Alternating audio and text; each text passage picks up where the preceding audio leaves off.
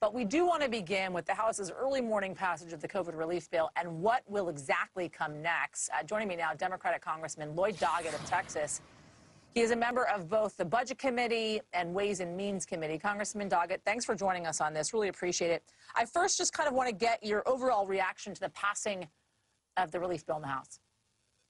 Well, it's really encouraging. You know, I've had uh, so many people call uh, my office in Texas this past week asking when will relief be on the way because they're really in a desperate circumstance of being uh, losing a roof over their heads, uh, not having enough to eat, of course, because of our unfortunate recent uh, weather crisis, uh, not having uh, enough water in some cases. They need help now.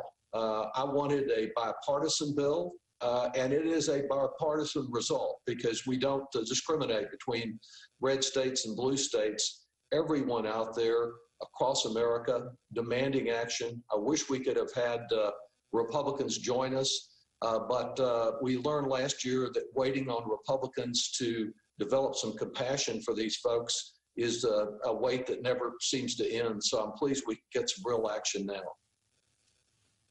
What do you say to the two Democrats um, that voted against it, criticizing uh, the non COVID related spending and going on to say the minimum wage hike uh, could actually cripple small businesses? Well, uh, I don't uh, agree with them. Uh, I don't also don't agree with every provision in the bill, but I think overall it's a good, responsible, responsive action, action package to get relief now.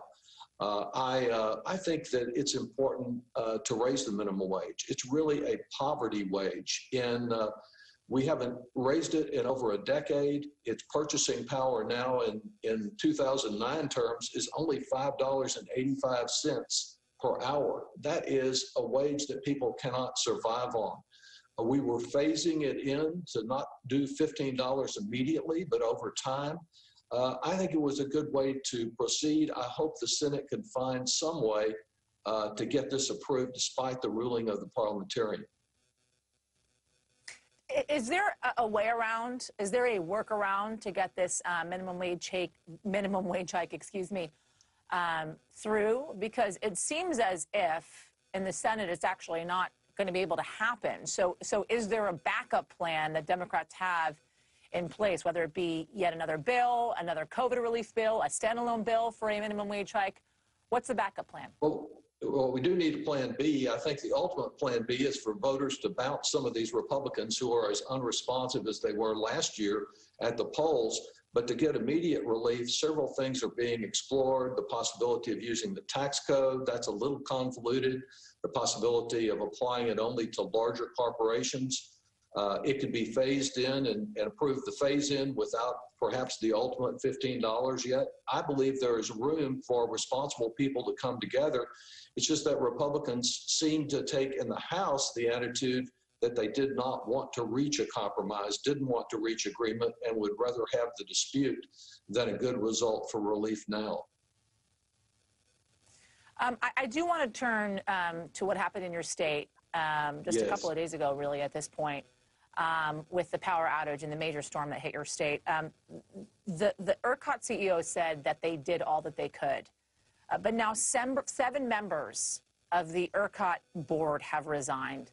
What do you make of it, especially given your own personal experience in having lost power during that time? Yes, we were we were without power for almost a week, uh, and uh, certainly not suffering the way so many of our neighbors did. Uh, also with the loss of water, but this was a totally unnecessary crisis, and it's not all ERCOT.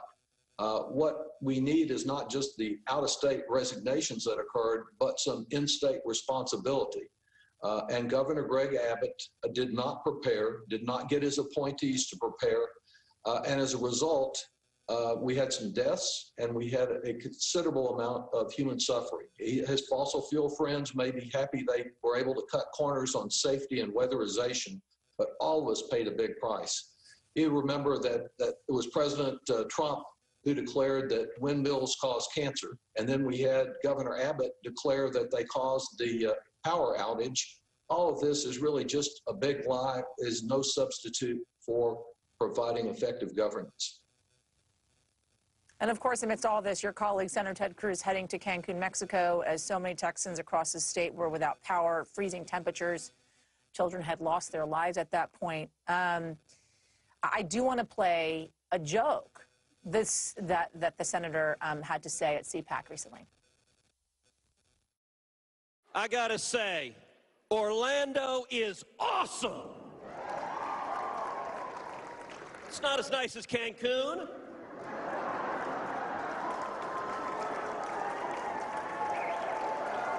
But it's nice.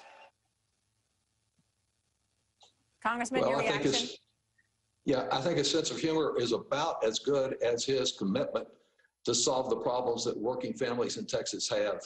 Uh, I, uh, I- I understand the focus on Senator Cruz because he left the scene of the battle when it was occurring, much as my Republican Party chair in Austin proposed to do to fly to Florida in the, in, in the midst of this. But my real concern is not what he did during the crisis, but what our state administration, particularly Governor Abbott, failed to do to prepare for and avoid this crisis, which should have been done. We have plenty of states north of Texas that did just fine. El Paso did just fine because it was connected to a different grid. What happened was a failure to prepare and prevent danger. And of course, the same kind of failure to recognize, as President Trump denied, that the climate crisis is impacting states like Texas very hard, whether it's a hurricane, a tornado, a drought, a flood, or in this case, the weakening of the jet stream, which appears to have let in a, a flood of, of harsh Arctic air.